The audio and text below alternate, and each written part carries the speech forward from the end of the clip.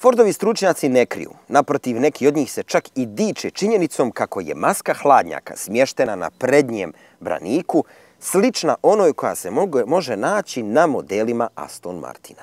To će nama biti dovoljan povod da se osvrnemo na novo čudo koje je ovaj britanski gigant pripremio. Nosi oznaku DB11, ali osim DB11 oznake ima još i sufiks AMR, odnosno Aston Martin Racing. Evo kakvom automobilu se radi.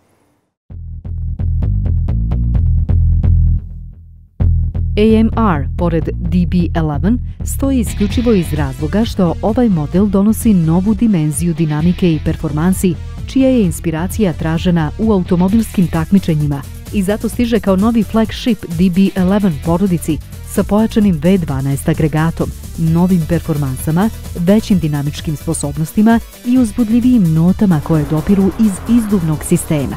Srce DB11 AMR-a čini 5,2 litarski V12 agregat sa dva turbopunjača. Nakon finog podešavanja, iz njega je izvučeno dodatnih 30 konskih snaga više u odnosu na odlazeći DB11, što znači da proizvodi snagu čak 630 konja, dok je obrtni moment od 700 Nm ostao nepromijenjen.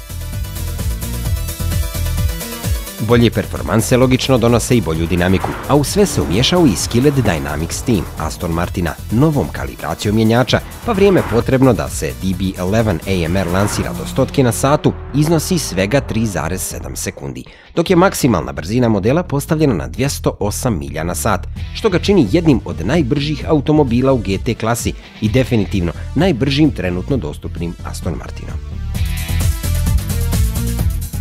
Uz sve radove ispod karoserije naravno dolaze i oku vidljive promjene i dodaci, kako u spolješnosti, tako i u unutrašnjosti.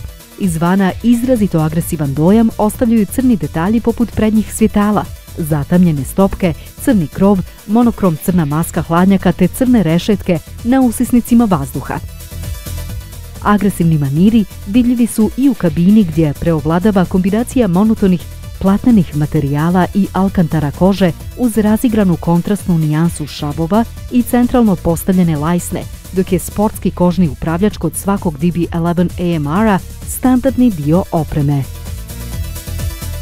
DB11 AMR je dostupan u tri dizajnerske specifikacije uz jedno ekskluzivno izdanje takozvano AMR Signature Edition sa naglašenim fluorescentno zelenim detaljima i više elemenata od karbonskih vlakana.